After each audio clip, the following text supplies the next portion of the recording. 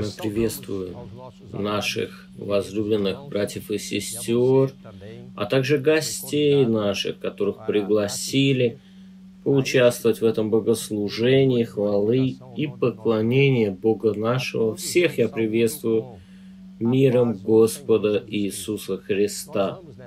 И сейчас мы начнем с вами это богослужение с молитвы воззвания о крови.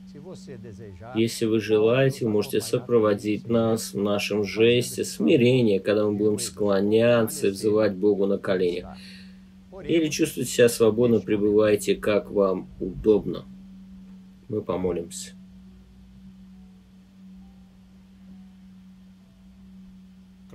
Взываем, Господь и Отец, о силе, которая в крови Господа Иисуса Христа. И благодарим Тебя за эту возможность принести Тебе служение поклонения. Мы благодарим Тебя, потому что велика милость Твоя к нам.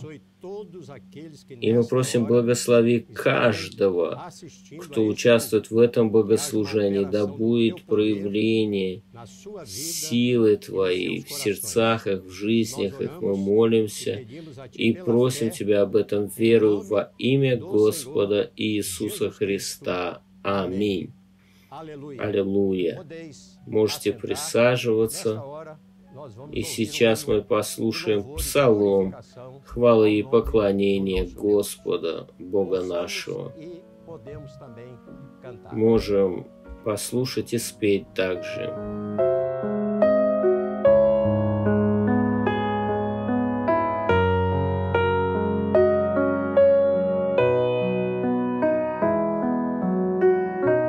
Prostrado estou Пред Тобою я преклоняюсь.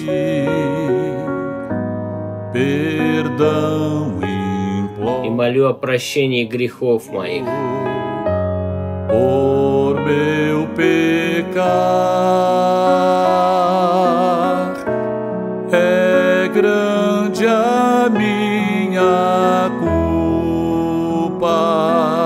Велика вина моя, но Ты любовь.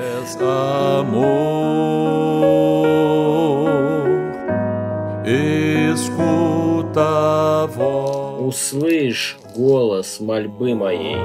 do meu clamor.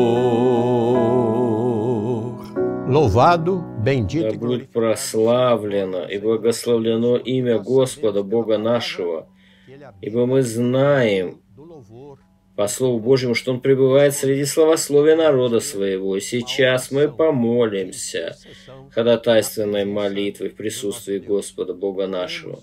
Давайте воззовем к Нему. Господь и Бог, нас чудный вечный Отец, мы взываем о силе крови Иисуса, представляя пред Тобою дома, семьи, Твои церкви, все те дома представленные здесь. Многие переживают моменты скорби, слез, трудностей, болезней, безработицы. И мы просим своей любовью, своей милостью, Господь, благослови каждый дом, чтобы мир Твой мог прийти в каждую семью, в каждый дом, чтобы пришло безопасность от Тебя, принести утешение, запрестить болезни, Господь, действием Духа Твоего Святого. Во имя Господом Иисуса мы молимся к Тебе о семьях в церкви Твоей, а также тех, которых Ты хочешь спасти.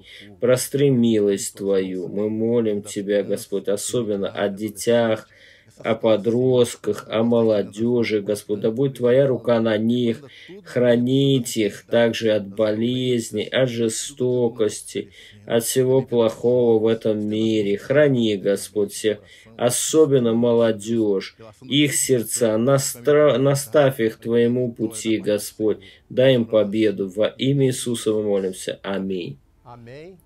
Слава Господу нашему! Да будет прославлено имя Бога нашего, потому что Он слышит наши молитвы.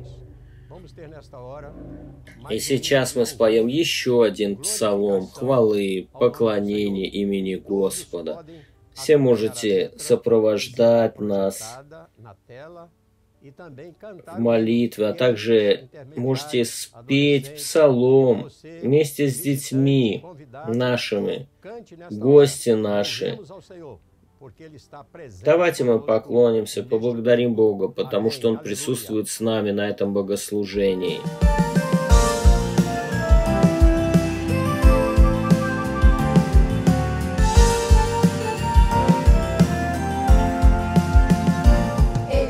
Он, корень Давидов.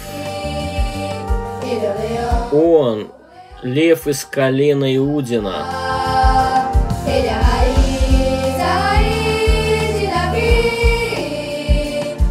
Он чудный, советник, князь мира. Какова причина моей веры? Я скажу. Иисус Христос, мой возлюбленный Спаситель.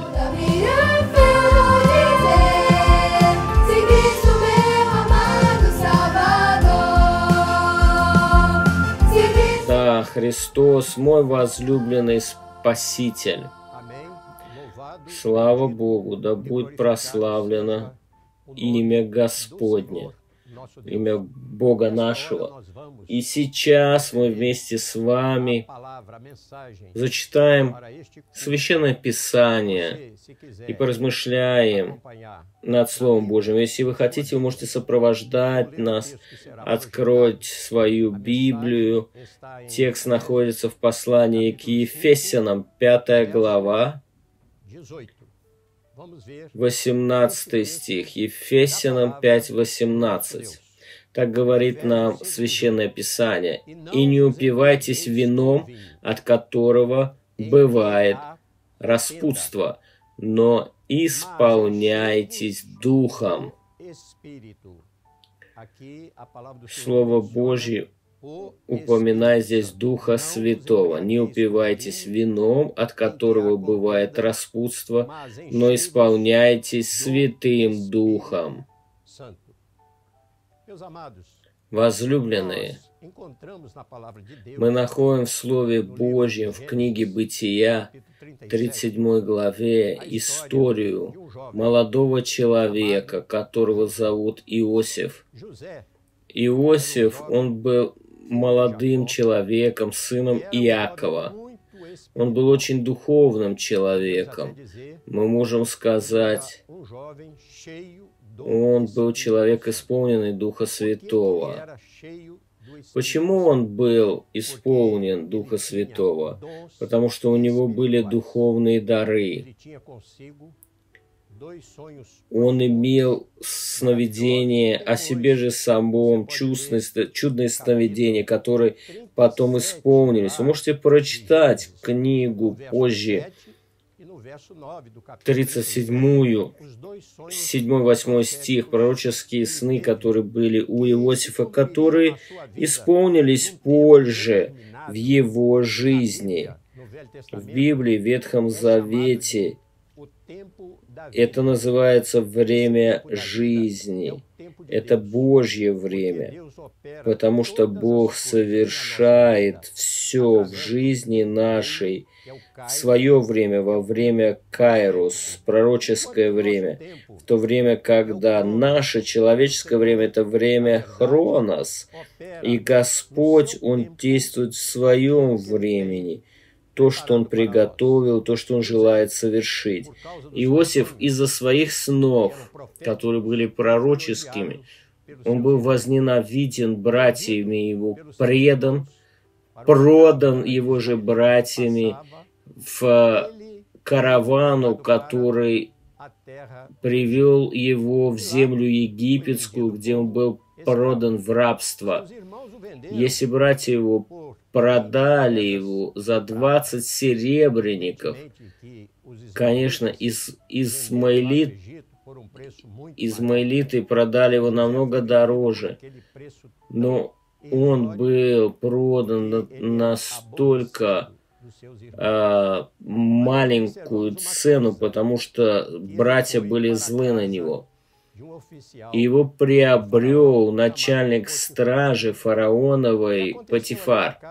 И произошло в, э, в доме Патифара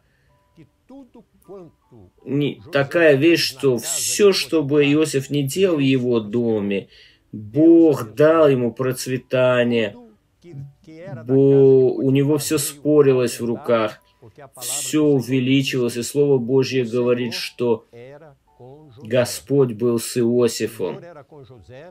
И поэтому Господь благословил даже поля, которые принадлежали Патифару. Почему? Потому что Иосиф был исполнен Духа Святого. После этого в жизни этого молодого человека, ему было примерно 17-18 лет, пришло испытание, искушение пришло в его жизнь. Жена Патифара в определенный момент положила на него глаз и пыталась соблазнить его во грех. Но он, исполненный Духа Святого, сказал, он не подастся на это, потому что он не будет грешить против Бога. И тут мы видим, наши дорогие друзья, братья и сестры, какое-то чудное благословение, страх Божий в сердце Иосифа. В тот момент он убежал из дома фараона, она схватилась за его э, рубашку, убегая от греха, она вырвала его одежду, Осталась она у нее в руках. Она начала кричать и обвинила его в том, что он пытался насиловать ее. Начала кричать. И он убежал, его одежда там осталась. Это была ложь. Это была кляуза, поклеп. Она наврала мужу своему и Иосифа посадили в тюрьму. Посмотрите, какая замечательная вещь, когда он был отправлен э, в, в тюрьму, старший тюремщик возложил на него некоторые ответственности. И все, что ему не доверяли, он все делал очень хорошо, замечательно то, чего они раньше не видели. И этот старший тюремщик увидел, что все, что не доверишь Иосифу, все имело процветание. Знаете почему? Потому что он был молодой человек, исполненный страха Божьего, он был слугой Божий, и он был исполнен Духа Святого. Через некоторое время вся эта тюрьма уже была под управлением Иосифа. Он проходил через это испытание. Но я уверен, что как это происходит со всеми слугами Божьими, которые имеют пророческое слово, имеют пророчество на их жизни. Не забывайте о пророчестве никоим образом. Иосиф был там, в той тюрьме, которую он называет темницей в этом подземелье, но даже там он был исполнен Духа Святого и был верен Господу. Время Божье, оно подходило. Должен был наступить день, когда бы исполнились те пророческие сны, которые Бог дал ему еще в доме отца. Но в это время произошло, что виночерпий фараона, царя египетского, и также хлебодар э, брошены были в темнице темницу. Они были арестованы там. Библия не говорит, сколько времени они провели там, но поскольку Иосиф был исполнен Духа Святого, он и мог различать сновидения. И он, видя страдания людей, он к ним начал хорошо относиться, когда он увидел и спросил, Почему они были настолько грустны в этот день, в это утро? И они рассказали ему. у нас были сновидения этой ночью, и никто не в состоянии в этой тюрьме нам истолковать наши сновидения.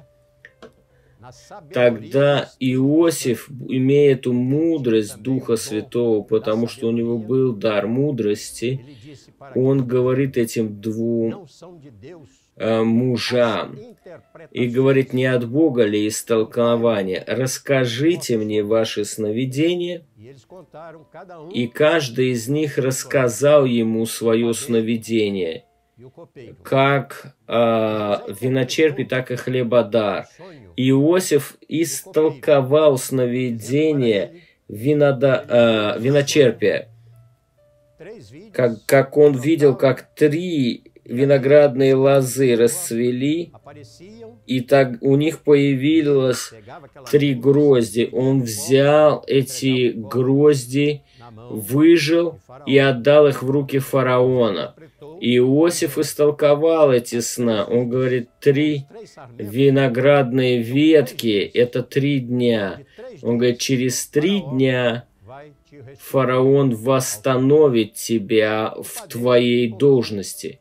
Тогда, ободрившись, и хлебодар рассказал ему свой сон. Он говорит, на голове моей было три корзины с хлебами. А на самой верхней были а, всякие изделия хлебные, и птицы небесные налетели и начали клевать все то, что было у меня на голове, на третьей корзине. Иосиф и ему истолковал, он говорит, через три дня фараон возьмет и повесит тебя на древе, и птицы небесные будут клевать тебя. И что произошло через три дня? Через три дня было день рождения фараона, и он сделал пир для своих слуг, для своих служителей. И он позвал э, виночерпия и восстановил его в своей должности виночерпия. И он подал кубок с вином в руки фараона, как Иосиф и истолковал. А хлебодара он отдал на казнь, и он был повешен. Прошло время. Иосиф просил э, виночерпия, он говорит, когда тебя отпустят, ты будешь пред фараоном, ты за меня замолви словечко, потому что я не виноват за то, что меня посадили сюда. Но виночерпий на радостях забыл про Иосифа, когда он был выпущен из тюрьмы. Да, это не виночерпий забыл о нем. На самом деле Бог не позволил, чтобы виночерпий вспомнил. Почему? Потому что не наступило время Божье, время жизни. Благословение еще не пришло в жизни Иосифа. И проходит время, он был все еще в тюрьме. У фараона у самого было два сновидения, которые показывали время обилия по всей земле египетской на семь лет, и потом время голода по всей земле египетской в, в течение семи лет. Но никто не смог понять этого, и истолковать его сновидение для фараона. И вот теперь наступает время жизни для Иосифа. Ему было уже 30 лет в то время. И тогда вспомнил виночерпий, что был молодой парень, еврей в тюрьме, который истолковал сновидение его и хлебодара, и как юноша сказал, так и исполнилось. И фараон призвал Иосифа. Он вышел из темницы, побрился, из, изменили ему одежду, чтобы он мог появиться перед фараоном, и он пришел пред фараоном. И он истолковал сновидение фараона.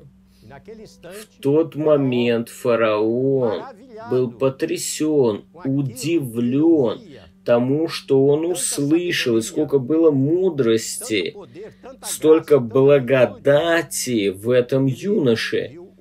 Он тогда понял, что эти сны действительно от Бога, и Бог ставит пророка, который истолковал ему эти сны. В тот же момент фараон снимает перстень свой, печатку свою и одевает на руку Иосифа, и одевает на шею его золотую цепь. И он облачил Иосифа в льняные одежды, в весон. Время Божье наступило, возлюбленные для жизни Иосифа. Он был испытан во всем. Во всем он был подвержен испытанию.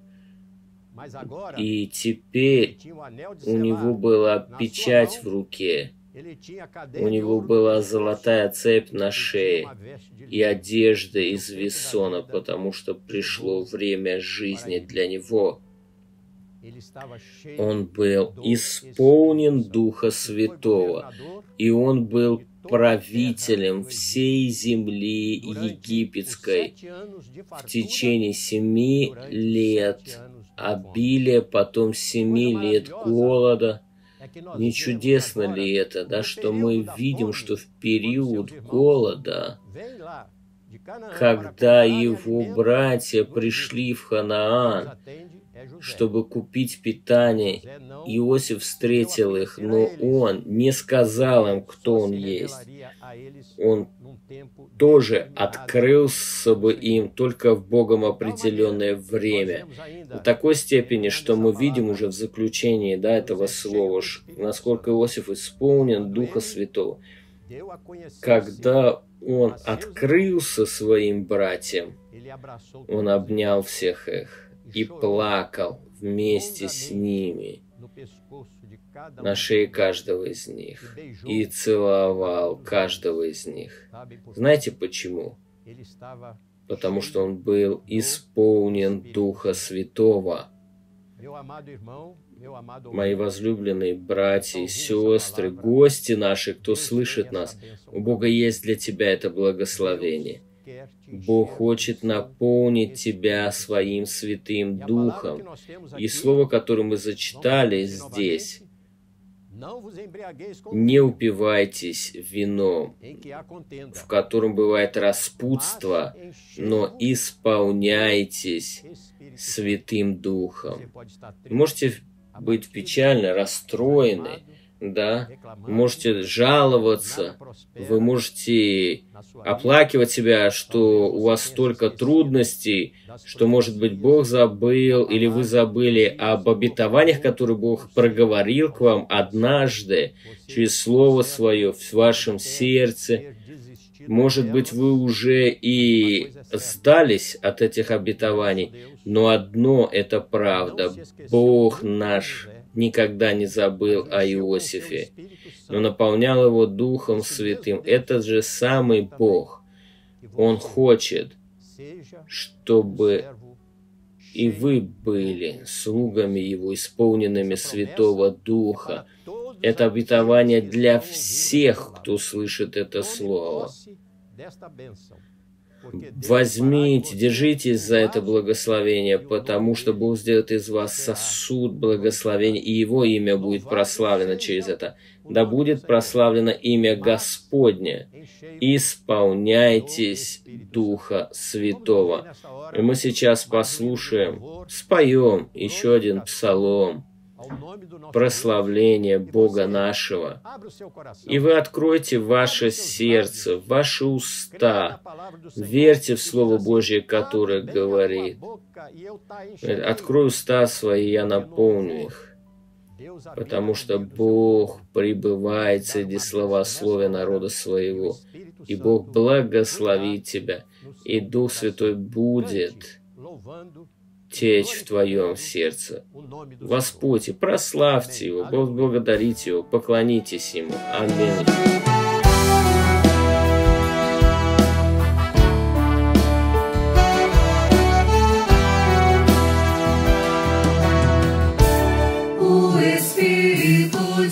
Дух Божий говорит к Его церкви.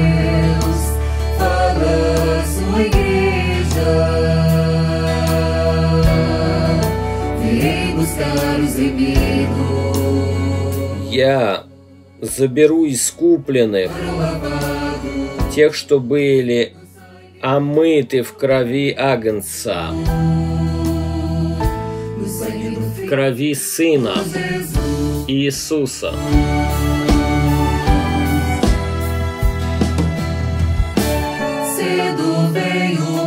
Все гряду скоро, все стою у дверей стучу. Если откроете, войду и исполню обетование мое.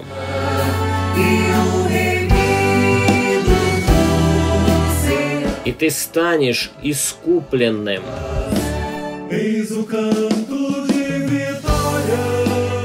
Сия есть песнь победы. Мы увидим царя славы.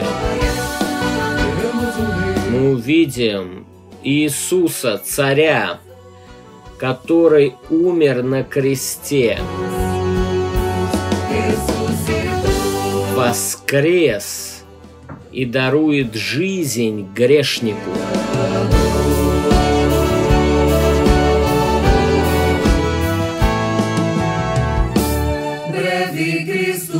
Вскоре вернется Христос.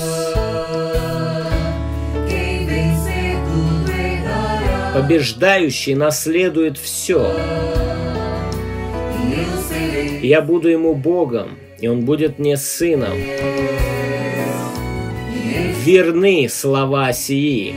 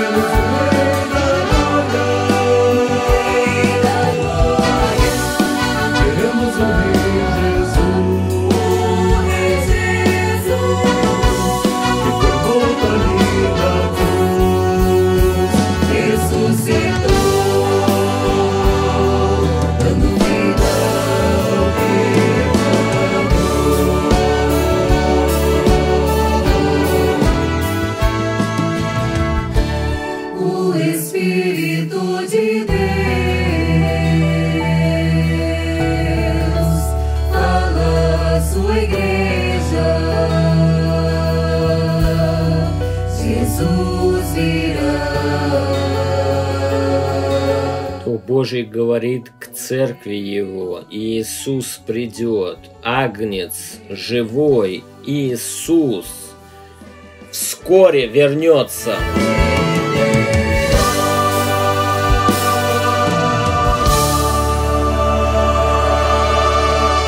Louvado e Да glorificado. будет прославлено имя Господне, потому что Он наполняет сердце наше радостью, миром и жизнью.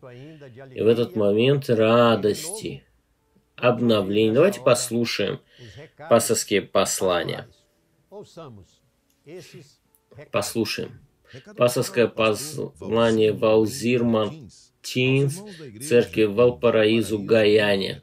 Возлюбленные братья и сестры церкви этапа А, благословением был семинар 30 числа. В этот момент Господь дал нам такое благословение, чтобы укрепить нас в вере.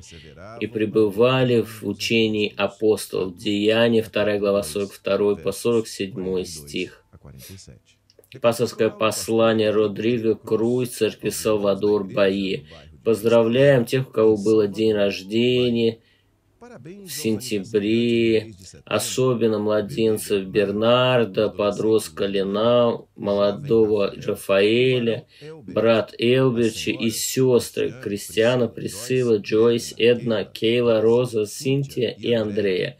До сего места помог нам Господь. 1 Самуила 7, 12. С братскими объятиями. Louvado Да будет прославлено имя Господа, Бога нашего, эти пасторские послания. Мы сейчас помолимся. Господь и Бог, Отец наш, мы молимся к Тебе. О всех, кто участвовал в этом служении, слышал Слово Твое. Мы живем в период благодати, Господь, излияния Духа Святого. И Ты, Господь, Бог спасающий, исцеляющий, освобождающий и крестящий Духом Святым. И тот, кто наделяет духовными дарами, посети каждое сердце в этот час излей Духа Твоего Святого, Утешителя, обильно, чтобы было спасение, радость, исцеление, освобождение, и, номя, и имя Господа Иисуса Христа было прославлено. Да будет благословен и превознесен Господь Бог наш. А мы Тебя за все благодарим и молимся с верою во имя Господа Иисуса Христа. Аминь. И да будет благодать Господа Иисуса Христа и любовь Бога Отца и утешение и общение Святого Духа Божьего да будет со всеми вами, братья и сестры, сейчас и всегда. Аминь.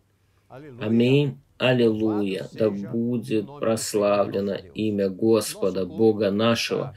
Наше служение подошло к концу, и мы хотим для всех тех, кто был приглашен из Бразилии поучаствовать в этом богослужении христианской церкви Маранафа.